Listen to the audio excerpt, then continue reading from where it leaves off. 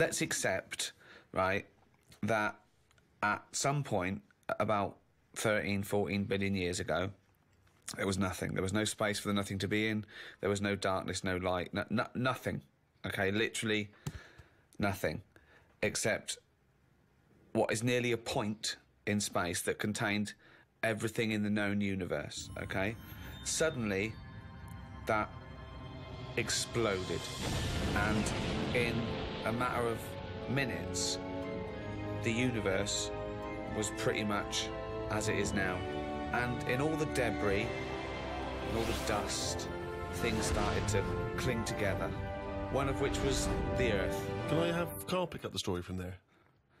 Um, probably nothing for quite a bit. Okay. Yeah, Just sort of floated about. yeah. But it wasn't causing a problem because it wasn't annoying anyone. No, You see, we don't get a chance of that these days. no. You pop something down, someone says, move that. Dangerous, what is it? Yeah. Back then, nothing. So it's hanging around, and if you leave something somewhere, something will sit on it. Right? Okay. if you leave something somewhere, something will sit on it. Yeah. Yeah, something something had to sort of happen, didn't it? I tell you what it's like. Go on. In the same way, um, penicillin Go on. happened. Go on. It was the bread was sat there. It goes off. Air would have uh, created the greenness. Oh God! This sounds like the Bible. That is that is like the Bible. Air created the greenness. That's amazing. Carry on, carry on, because I want to. I'm, I'm, in, I'm learning here. I'm learning. And once you've got something, that leads to otherness. Oh, this is like this is like a monk that who sat down. Oh, We're all sat cross-legged listening to the wise Yeah, old man. I know. What are you gonna do? I'm gonna write uh, a thing of how everything was created. But hang on, carry on, because Really? I'm interested. Yeah. So where What- are we? so- So, we've got, so we've got, we had greenness, and now we've got So something. the air created the greenness, and then what is it? then we have what was Just it? otherness Other- from the otherness. greenness. Because once you've got once from, you've other- got from greenness comes otherness. once you've got one thing, others come. Yes. The air created the greenness, then you got otherness. If you create something, others will come. Build it, and they will But it's come. sort, of, it's sort of right. In, in, Yeah, no, no, no, no, in no, I'm not saying gobbledygook. agree. No, so, but tell me, take me, take me on. Continue this, this, this story because this is fascinating. So, what? Where are we now? Then, what if I was to stand on the earth at this moment in time? What would I see? Um, not that much. You wouldn't want to stay. But there's greenness, Little little patches little of greenness, patches of greenness. Okay, little bit of rubble knocking around. a bit of rubble. There was a bit of rubble. Okay. Um, We've still got a long way to go. We want to get to life, don't we? Okay, well, get- let's get skip forward so, then, so, to So everything was right. Okay, it was the right distance from the sun. Okay, yeah, but even if it, had- wasn't, wait, we'd, it- we'd have we'd still been created. no, we wouldn't. We would. have. Something no, we would wouldn't have done. No, we wouldn't. Have. I want to hear Karl's opinion on this, Rick. I'm not interested in facts. I want to hear Karl's opinion. So opinion. are you saying um, if if the atmosphere right around the Earth wasn't about ninety nine uh, percent nitrogen and oxygen with one percent other gases, we'd have still had something else? Something would have been around.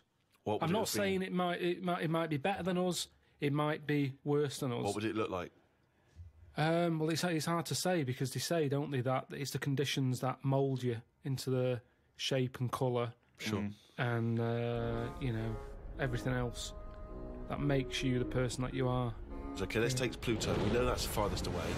So it's, it is dark and cold there. Right. What? How do you imagine the creatures that will develop there will Big look eyes and airy. But how did they evolve? How did they evolve though? Because we evolved. just- Hang on. You always say animals change to suit the conditions. I'd have thought if, if planet's dark, you don't need eyes because things that live underground or at the bottom of the ocean, they don't they don't have um, eyes or uh, or, or colour because there's no point. Yeah, but what I'm talking about, are we saying we're living inside Pluto or on the top of it like we do here? Why would we live inside Pluto? Well, I no, it, wouldn't- it, I could, it wouldn't. couldn't support life, full stop. But, but um, this, I mean, it's one of the most ridiculous conversations we've ever had. He seriously because everything's based on a, on a ridiculously false premise. No, Karl, We're saying now that the world's overcrowded. right, There's too many people on it. right. We're running out of houses. People are living in basements. Now that's only one step away from from being molish. we're already going on the ground because we're running out of space. Being Polish. Okay. Yeah, right, that's come it. on. Keep, hang on, let him, I want to hear his point. Is Here that we like are. being Amish? So so what what you're are saying- Polish people? They don't acknowledge the, the crust of the earth. So you're saying within five years there's going to be sort of mole-like people living in basement flats Well, with well- no eyes? But hold on, though. In your, in your, in, according to you, the lower they go, the colder and darker they go, the hairier and better eyes they'll have. Uh, well, it depends now. I was only saying they'd have better eyes if they're on a dark planet where they're outside, so they still have to look out for things that they could trip over. If we go in, if we go in, if we're going underground, walking around. That's their sole concern. That's the whole evolution. It's like, oh, we don't want to trip over. I don't want to graze my knees. You've got knees. They got them on Earth. Coincidence, isn't it? Hub, hub.